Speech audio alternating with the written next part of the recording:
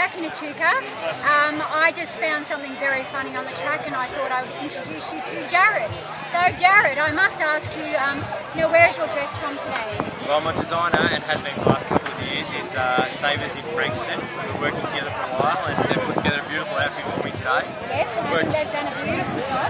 Flatters you figure beautiful. Thank you. And did you choose the colour yourself? I didn't, actually, no, I didn't. Uh, my uh, PA man, looked after everything for me, Okay, so all good. Fantastic. Do you mind just showing us around the back so we can get a really good look at the figure? You'll possibly not able to see the back. No, I'm sure that we really do.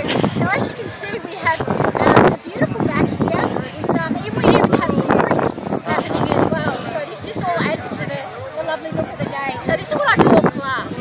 Now for all you girls out there that are thinking, now what style should was classy for the races?